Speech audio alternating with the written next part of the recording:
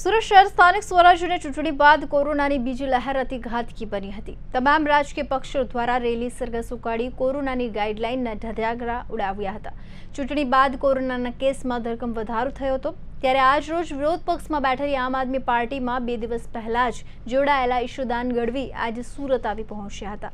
સરથાણા જકાતનાકા તક્ષશિલામાં જે બાવીસ માસુમો ભૂલકાઓ મોતને ભેટ્યા હતા તે જાણે આજે રાજકીય પક્ષોને દેખાવા કરવાની જગ્યાએ મળી ગઈ હોય તેવું લાગી રહ્યું છે.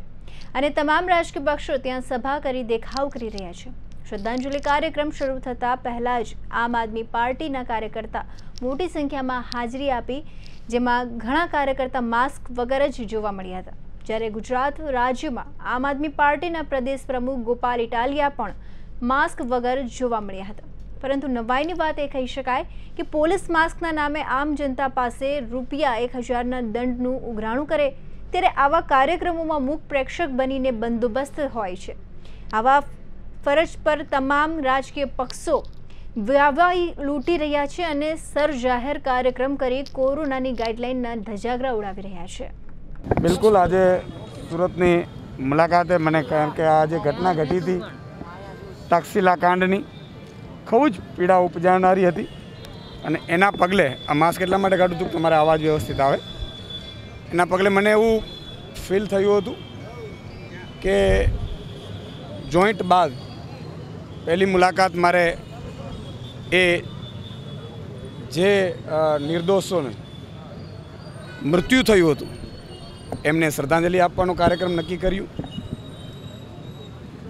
બાવીસ ભૂલકાઓ અને એ પણ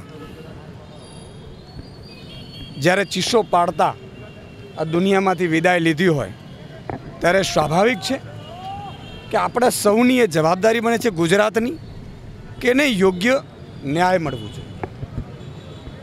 મેં સાંભળ્યું છે કે એમના પરિવારજનો ને ન્યાય મેળવવા માટે અદાલતોના ધક્કા ખાવા પડે છે.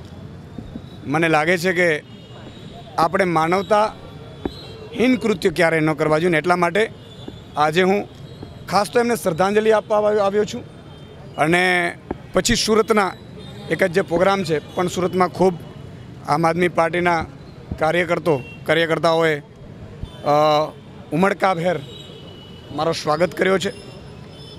સુરતની જનતાને જોડવાનો જે લોકો પ્રયાસ કરી રહ્યા છે, એક એક આમ આદમીનો કાર્યકર્તા આજે એક એક વ્યક્તિ, સો સો વ્યક્તિને રાત દિવસ જોડે છે.